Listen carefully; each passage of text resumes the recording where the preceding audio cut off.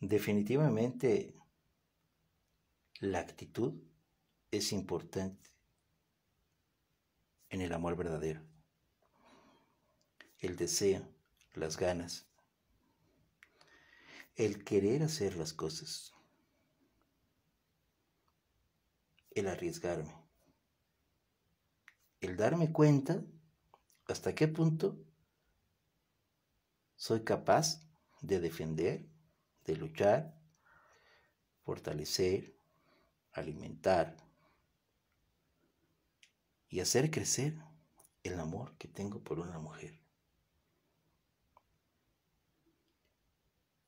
No necesito echarme rollos de aventarme la Biblia.